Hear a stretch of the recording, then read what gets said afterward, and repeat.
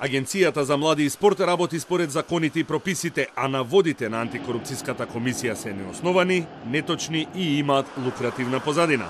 Ова е одговорот на директорот на агенцијата Наумче Мојсовски на барањето на антикорупцијска за кривична одговорност поради финансиски малверзации и злоупотреби при доделувањето на спортски ваучери.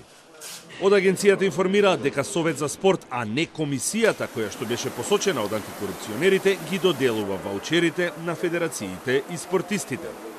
Членовите на Централната комисија се на предлог на владата, но тие не се оние кои ги доделуваат ваучерите за даночно ослободување, туку се административна комисија која врши само административно-техничка обработка и евалуација на пристигнатите апликации и предлог листата ја доставува до Советот за спорт.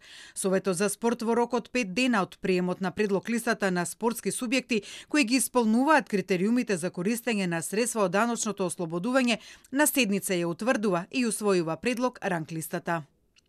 Мојсовски смета дека не е коинциденција што во петокот антикорупцијска побара кривична одговорност, исто како и председателот на Македонскиот олимписки комитет Даниел Димевски, кој се обрати до владата и побара разрешување во агенцијата.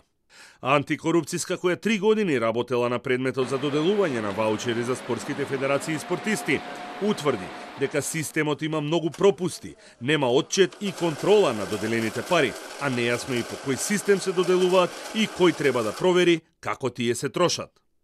Годишно, Агенцијата за млади и спорт преку спортски ваучери доделува 1 милиарда денари или 16 милиони евра на федерациите и спортистите.